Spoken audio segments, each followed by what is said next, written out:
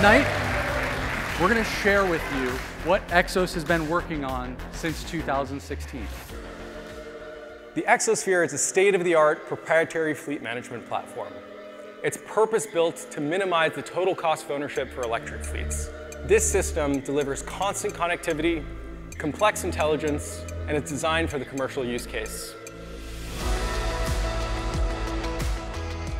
Fleets such as Amazon, FedEx, Loomis, UniFirst, and many others started the transition to a zero emissions future on the X platform.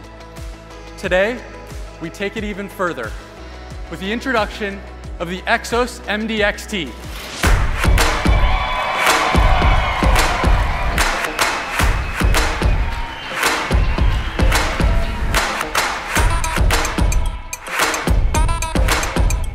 Hi everyone, I'm John Friel, Vice President of Warehousing and Transportation at Republic National Distributing Company. We are one of the largest beverage distributors in the United States. We're excited to be here to celebrate the launch of the Xos MDXT. There are commercial applications ripe for electrification that require even more power. So, we designed, developed, engineered, and brought to life the newest and most powerful addition to the Xos vehicle family, a heavy-duty vehicle designed for regional haul applications that packs a truly powerful punch. Introducing the Xos HDXT.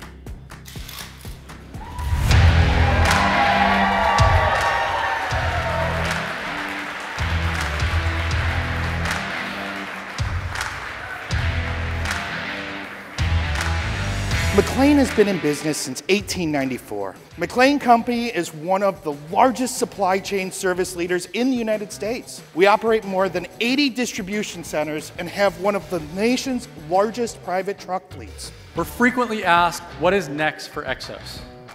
The next phase is helping fleets scale zero emissions vehicles across their entire operations. From our Xosphere fleet management platform to the Xos Hub, we've already started to pave the way for the future that we envision.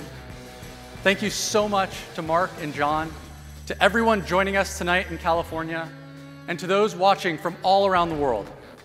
We'd like to thank our customers like RNDC, McLane, FedEx, UniFirst, and so many others that have supported us.